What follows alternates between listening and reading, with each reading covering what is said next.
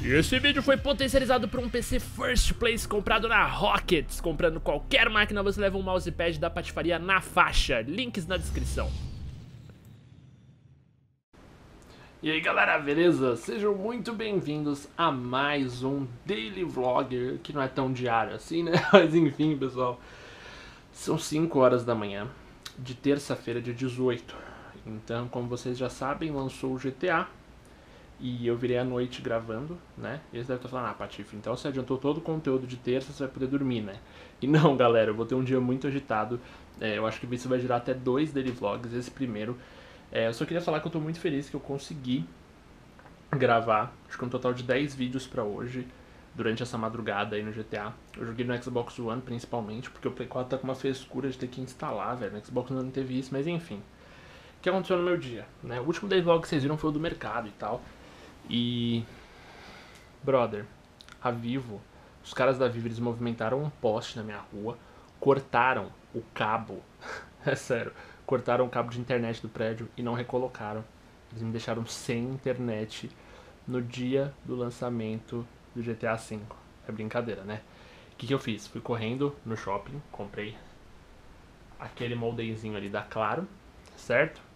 E meu vizinho liberou o, a senha do Wi-Fi dele, meu, vizinho, brother, irmão, liberou o Wi-Fi dele. E eu tô upando neste exato momento quatro vídeos no computador e seis vídeos no notebook. Cada um com uma conexão diferente. Meu PC com o Claro, o notebook com a internet do meu brother. E eu consegui, velho. A Vivo me fudeu, a Rockstar me fudeu, mas eu consegui por vocês que eu fiz isso aí, porque foi do caralho. Bom, agora eu vou dormir e eu vou acordar às 7 horas, são 5 horas. Eu vou acordar às 7 e meia, porque eu tenho que estar na pré-estreia dos Jogos Vorazes, que eu fui convidado por uma cabine de jornalistas e talvez eu filme um pouquinho a caminho de lá. E para quem não sabe, eu sou muito fã, eu fui convidado da Paris Filmes para estar nessa cabine. Então estou muito honrado, estou muito feliz com isso. Eu vou ter em primeira mão impressões sobre os Jogos Vorazes e um dia antes do lançamento do filme, tipo, de manhã, muito foda, né? Então, só que o trânsito de São Paulo é muito cruel. Então eu vou ter que sair de casa umas duas horas antes para chegar lá a tempo. Mas vai valer a pena, vai valer a pena. Vai ser um dia frenético. Virei à noite, uma caixa de bis inteira, 2 litros de Coca-Cola, nenhum energético. O energético eu vou usar durante o dia aí, porque depois do negócio dos Jogos Vorazes, às 4 horas da tarde mais ou menos, 4, 5 horas, não, 3, 4 horas por aí. Eu tenho que estar tá lá na Ubisoft, que eu vou fazer um bagulho muito foda. Provavelmente algo relacionado a Far Cry, eu, na verdade eu não sei o que é, mas deve ser foda, porque é Ubisoft, e Ubisoft é zica. Então, vocês já viram minha rotina de hoje, né? O dia vai ser maluco, por isso que eu acho que vai gerar dois daily vlogs para não ficar muito grande. Mas enfim, consegui. Espero que vocês tenham gostado do dia que foi. Esse vídeo deve ter saído um dia depois. E imagino o que aconteceu ainda hoje, então ser youtuber não é tão fácil quanto parece. Enfim, vou dormir. Chega minha cama me espera. É isso aí. Então eu vejo vocês indo pro rolê lá na, na cabine de jornalistas do jogo, do, do filme A Esperança dos Jogos Vorazes. Então, falou!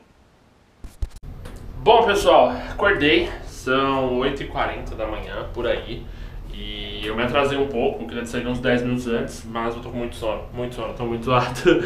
E aqui está Neo Salvador, eu vou tomar quando estiver mais perto, tô indo lá pro Jogos Vorazes.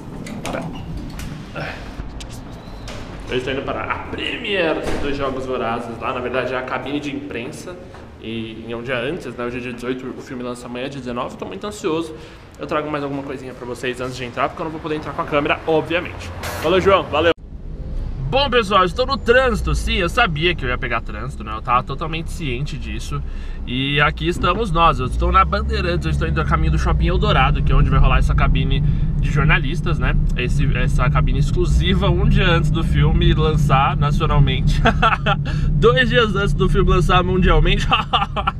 Eu tô vendo praticamente depois da Jennifer Lawrence. Ela assistiu ontem o filme, ontem de madrugada, né? Então eu estou assistindo praticamente junto dela, mas não, né? uh, pessoal, seguinte, trânsito tá um caos, moleque. Eu já sabia que ia estar tá um caos. Quando você mora em São Paulo, Uh, para você chegar num lugar que você demoraria, sei lá, 30 minutos, você tem que sair pelo menos com uma hora e meia de antecedência. Então, eu, eu odeio me atrasar, eu odeio, eu passo mal quando eu me atraso, é um bagulho doentio. Então eu saí uh, uma hora e cinquenta de antecedência, certo? E por isso eu tô num trânsito terrível. Acabou de rolar uma batida na minha frente, o tiozão se distraiu e acabou batendo o carro. E, e eu não, não tô fazendo esse vlog à toa, obviamente, né? Eu não tô colocando ninguém em risco, é porque realmente o trânsito tá bem parado. E aí eu consigo fazer, né? Se eu tivesse aquele suporte para GoPro, eu ia conseguir ir conversando com vocês até lá, o que ia ser legal, porque eu ia me distrair até lá. Uh, mas no caso, eu não tenho, né? Então vai ter que ser assim, só um vlogzinho curto mesmo. Então é isso aí, velho. Morar em São Paulo é isso aqui, ó. Vocês estão vendo do meu lado, é, os motoqueiros passando a milhão. Do outro lado a galera maluca e o povo estressado, brigando, batendo carro e os caralho. E é assim, mano, tem que estar tá ciente que qualquer coisa pode acontecer, tem que estar tá atento o tempo inteiro. Então eu tô sempre de olho no retrovisor tal, sempre dou espaço pro motoqueiro. Às vezes é ambulância, você precisa jogar pra direita. É foda, é complicado. Pra direita, pra esquerda, dependendo de onde você tá. Então, o trânsito é um negócio que é assim, ou você fica alerta ou dá merda, né? E tipo, eu falando isso e gravando é muito pegadinha, não parece que a qualquer momento alguma bosta vai acontecer. Mas enfim, eu vou até evitar, eu vou até não gravar para evitar a fadiga. Eu tô indo pro Shopping Eldorado, eu não vou entrar com a câmera. Por quê? Uh, eles avisam no convite por e-mail que todos os equipamentos eletrônicos vão ser confiscados na entrada, obviamente, para ninguém lá filmar o filme e fuder com a porra toda, né? Eu não preciso nem explicar o que uma pessoa com gravações de um filme que vai sair um dia depois pode fazer. Então, uh, não que eu fosse gravar nada, mas seria estranho eu entrar com uma mini câmera, né? A GoPro é pequena e grava em Full HD, tá ligado? Tipo, ah tá, você agora é o espertão que vem na, no dia de jornalista com uma, uma mini câmera. Então, para evitar qualquer possibilidade de constrangimento, eu vou deixar a bagaça uh, no carro, tá? E o que também não é uma ideia muito segura, mas, mas enfim, eu evito qualquer possível né, tipo, ideia, tá? Cara, você imagina se entregar uma GoPro no, no cinema, brother, que coisa chata, né? Então eu vou evitar o transtorno. Como eu falei, tô no trânsito, tô na frente do aeroporto de Congonhas. Quem mora em São Paulo, quem já visitou São Paulo, com certeza sabe o ponto que eu tô agora aqui. Falta uma bica ainda pra chegar até lá, mas eu tô uma hora e meia antecipado. Então, tipo, foda-se, eu estou muito tranquilo. Vou ouvir uma musiquinha, curtir uma vibe e eu volto com vocês quando terminar o filme. Uh, pra acabar essa primeira parte do meu dia e que começou na madrugada, né? E agora eu vou aproveitar provavelmente trânsito também, vou tomar um pouquinho do, do energético para dar uma acordada e tal. E porque tá foda, eu tô com muito sono, tô muito cansado. Então é isso aí, gente. Eu vejo vocês depois que o filme acabar. E eu vou assistir antes de todo mundo. que triste, né? A vida, assim. Eu acho tão chato, sabe? Ai, meu Deus do céu. É muito injusto, é muito errado a vida. Ah, enfim, né? Brincadeira, pessoal. Conto pra vocês como é que foi depois. E vou tentar ser imparcial, juro, no review do filme. Que eu acho difícil, porque eu sou muito fã. Mas enfim. Chega! Um beijo! Tchau! E aí, galera? Então, voltamos, tá? É... Cara, muita coisa aconteceu. Eu não sei onde é que eu parei nesse meu dia. Que, que eu posso falar? Então vamos resumir. Eu dormi às 5 horas da manhã, acordei às 7, 8 pra ir nos Jogos Vorazes, pra assistir o filme. Uh, puta, eu não posso trocar de mão. Estou dirigindo, assim, como vocês podem ver. Aí eu assisti os Jogos Vorazes, certo? Uh, na Premiere, que eu fui convidado pela Paris Filmes. E o filme foi sensacional, o A Esperança. Se você não assistiu, malandro, assiste que o bagulho tá bom. Filmes não tá me pagando, foi só um convite realmente pra assistir o filme, porque eu sou muito fã. E eu posso recomendar com todas as letras. O filme está sensacional. Eu, mano, eu amo muito a série Jogos Vorazes, assim. Quem me conhece tá ligado. E esse filme foi do caralho. Então, assim, assista, tá? Essa é a minha recomendação pessoal. Eu não vou fazer muito review, muita coisa, mas posso dizer que é tensão o tempo inteiro, tá? Pera aí que eu vou ter que passar a marcha, cacete. Eu não me preparei pra passar a marcha. eu só gravo, pessoal, quando eu tô no, engarra no engarrafamento. Por quê? Uh, porque é devagar. A partir do momento que eu conseguir pegar um pouquinho de velocidade, eu não posso ficar com uma mão focada aqui em segurar a câmera, certo? Eu tenho noção do perigo, tá?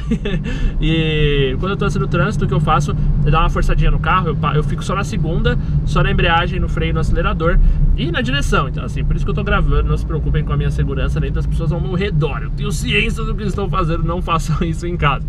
Uh, bom, depois disso, eu passei pra almoçar com a minha namorada, que eu não gravei porque eu esqueci a câmera no carro.